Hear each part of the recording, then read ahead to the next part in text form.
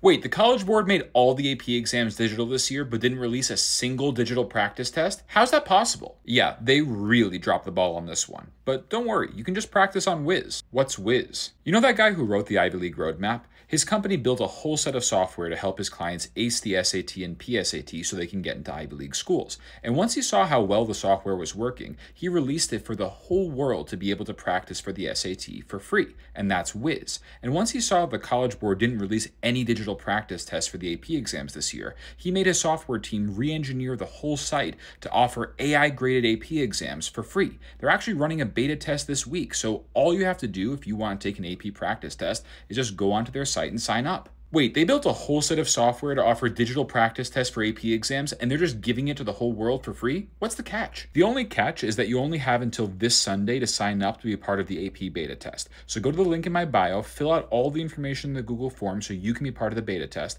and send this to a few of your friends so they can sign up too. And that's it. Good luck.